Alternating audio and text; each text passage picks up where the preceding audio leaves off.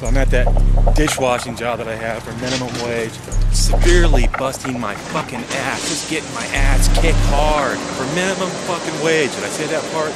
Lowest guy in the restaurant that gets paid, the dishwasher, as usual. The, the type of dish dishes that are so busy that you've seen, I've seen people freak out and like throw the piles on the floor and flip out and walk out the door.